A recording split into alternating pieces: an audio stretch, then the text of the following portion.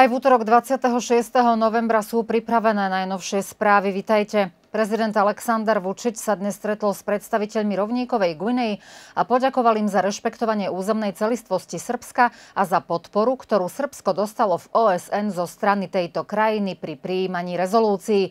S prezidentom rovníkovej Guinei Teodorom Obiangom Masogom, ktorý je na oficiálnej návšteve Srbska do zajtra, sa prihovoril na tlačovej konferencii, kde okrem iného vyhlásil, že Srbsko je poctené touto návštevou a zodpovedne urobí všetko preto, aby sa dosiahol pokrok v spolupráci. Ako uviedol, aktuálne prebieha formovanie zmiešaného výboru, v ktorom delegácie budú tvoriť z obidvoch krajín ministri hospodárstva, poľnohospodárstva a digitalizácie. Počas najbližších dvoch mesiacov delegácia zo Srbska navštívi hlavné mesto rovníkovej Guinei, Malabo, kde dohovoria ďalšie konkrétne kroky. Predseda vlády Miloš Vučevič dnes hovoril s predsedom čínskej spoločnosti Mint s Chin Jong Hwaom o činnosti a budúcich investíciách tejto spoločnosti v Srbsku. Vučevič vyjadril spokojnosť s faktom, že spoločnosť Mint v našej krajine aktuálne zamestnáva okolo 4 tisíc ľudí a vybrala si našu krajinu, aby tu vybudovali hlavnú základňu na výrobu a vývoz automoto dielov, čo výrazne ovplyvní rozvoj našej ekonomiky a otvoria sa nové pracovné miesta. Ako ďalej ďalej uviedol, Srbsko poskytne plnú podporu na otvorenie priemyselno-technologického parku v Indii, v ktorom okrem čínskych zamestnancov budú mať prácu aj srbskí odborníci. Na stretnutí bola prítomná aj ministerka hospodárstva Adriana Mesarovičová.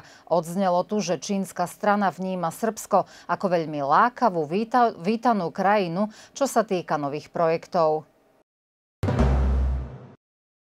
Minister pre verejné investície Darko Glišič prevezme do zvolenia nových ministrov odbor Ministerstva výstavby, dopravy a infraštruktúry, ktorý doteraz viedol Goran Vesič. Bývalý minister Vesič je aktuálne vo väzbe v rámci vyšetrovania kvôli nešťastiu na železničnej stanici v Novom Sade. Vo väzbe dobrovoľne držal hladovku, no keďže je kardiopacient, jeho zdravotný stav sa zhoršil a dnes ráno bol prevezený do inštitútu v Sriemskej kamenici, kde sa podrobil detailnejšiemu vyšetreniu a ostal ostal na oddelení intenzívnej starostlivosti. Namiesto Tomislava Momiroviča, ktorý tiež podal demisiu, odbor ministerstva vnútorného a zahraničného obchodu s najväčšou pravdepodobnosťou prevezme ministerka hospodárstva Adriana Mesarovičová.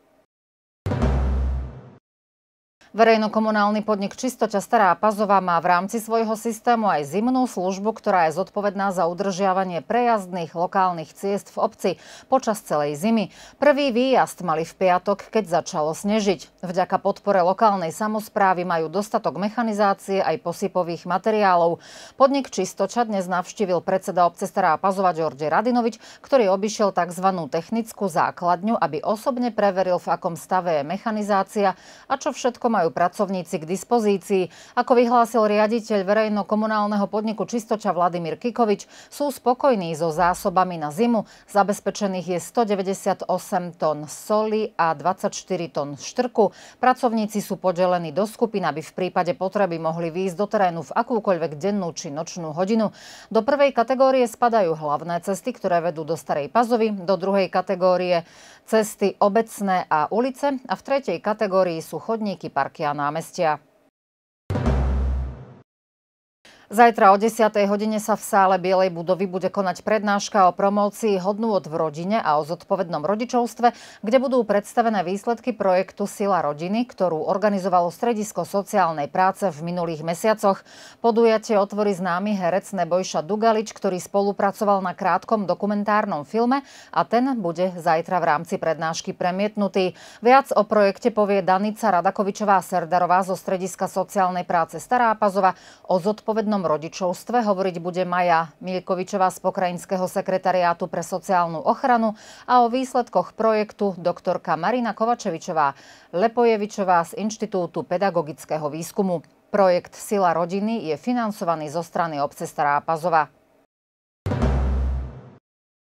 Ako zverejnili z podniku Elektrodistribúcia, zajtra 27. novembra od 9. do 13. hodiny nebude elektrický prúd v Starej Pazove.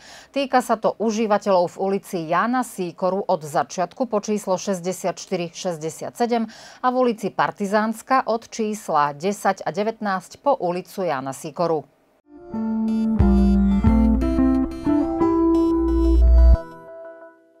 Na stredu meteorológovia ohlasujú oblačné počasie s miernymi slnečnými intervalmi, ale prevažovať budú oblaky. Teploty nad nulou od 4 po 10 stupňov a čo sa týka vetra, slabý vietor do obeda zo severu, po obede z východu. Na záver ešte meninoví oslávenci, dnes Kornel, zajtra Nestor a Noé. Útorkové správy sú pri konci, želáme vám príjemný zvyšok dňa.